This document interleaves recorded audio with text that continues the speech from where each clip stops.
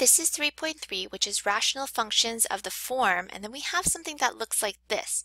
So that's a little bit different. I mean, normally we see a 1 on the top, but now we have a linear function. I mean, not only do we have a linear on the top, we actually have a linear on the bottom as well. And it could look something like this. Do you see that? Linear and linear.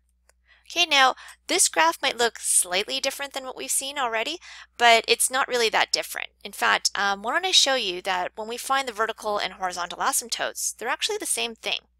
So the vertical, we always looked at the denominator.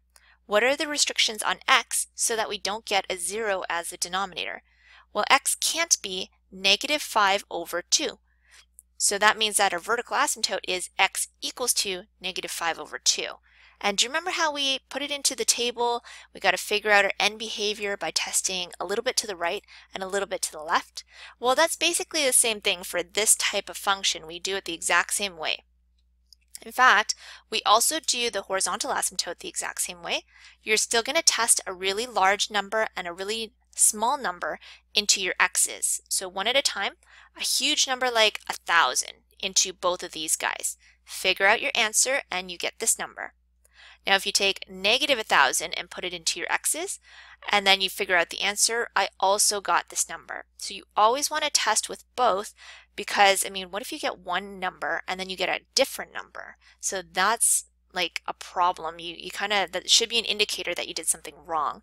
Okay, now something I want to bring your attention to is um, when we had a 1 at the top, um, so when we were dealing with the reciprocal of linear functions, we always got a zero as our horizontal asymptote. And that's just a general rule that if you have a one on the top, you're going to get like zeros for your horizontal asymptote. But notice that we didn't this time.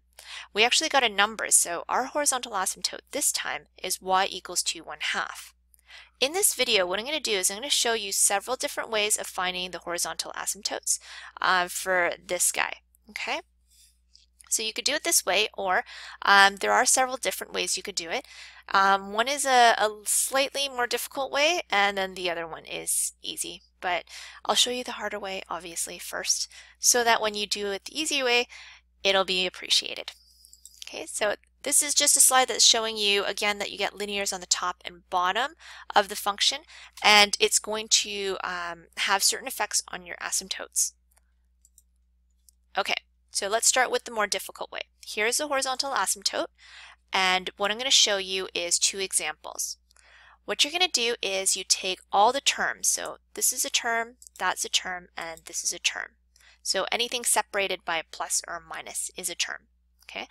What you're going to do is you're going to take each of these terms and you're going to divide them by the x that has the highest exponent. So these two both have the same exponent, which is x to the power of 1. That means we're going to divide each of these guys by x to the power of 1. The x is right here, here is the x, and that is the 5. So notice that I've divided each of them by x to the power of 1. Okay. Now, what we're going to do is we're going to reduce. So let's break that down. x divided by x is just 1. Again, this is also going to be a 1. And since I can't break that down, I'm just going to leave it alone. Okay, so this is our final answer for our function once we've divided all the terms by the x with the biggest degree. Now we're going to use it in order to figure out our horizontal asymptote. So we do it the same way that we did the warm-up, where we start subbing in a positive, negative, um, huge number, and then we see what our horizontal asymptote is. Okay, so sub in a very big number into wherever you see an x. So I only see an x right here, no more x's, right? 5 divided by 1,000 is going to be like 0 point something, 0, 0, 0, which is basically like a 0. So 1 over 1 plus 0 is just 1. Okay, so that's giving me an indication that our horizontal asymptote is a 1, but let's just make sure by subbing in a negative um, number, so like negative 1,000. So negative 1,000 means when we divide it, we're going to get negative 0.000. So I mean a negative 0 is the same as a positive 0, really. 1 divided by 1 minus 0 is still going to be 1. So that's great. These guys match, and that's my horizontal asymptote. So let's try that one more time. You have four terms here. Here's one, two, three, and four. The x with the highest power is, I mean, they're both x's with 1s, so let's divide each of those terms by x to the power of 1. Now we're going to reduce. x divided by x is negative 3 by itself.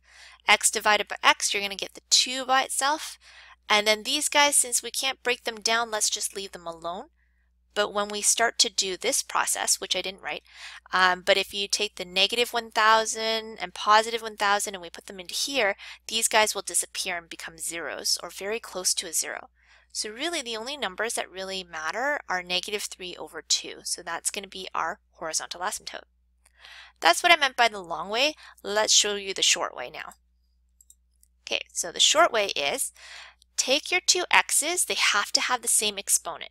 So if one's an x squared and one's an x, you can't do this. All right, so take your two x's with the highest degrees, they have to match, and then their coefficients, those are the numbers for your horizontal asymptote.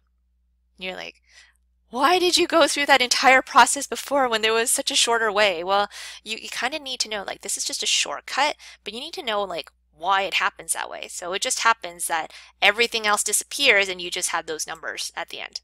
Okay, so like here, you got a 1 that's invisible and a 1 that's invisible. So 1 divided by 1, it's going to be 1. So there you go. Your horizontal asymptote. Okay, so you can, I, I don't know, whatever your teacher says is okay, then you got to do it that way, I guess. All right, so here is a full-fledged, like, gigantic question, and this could be like a test question um, or a quiz question. And you're just going to have to analyze the entire thing. Okay, so let's get into it. Here's the equation that you need to sketch. So we want to know about asymptotes, domain and range, behavior around those asymptotes, maybe get some x and y intercepts in there, make a sketch, and then at the very end we got to talk about how it's going to increase or decrease. Okay, so let's get on the asymptotes. Here's our vertical asymptote, or where we're going to find it anyway. Our restriction is negative 5 over 2. That means that our vertical asymptote is equals to negative 5 over 2. Then we have the horizontal asymptote.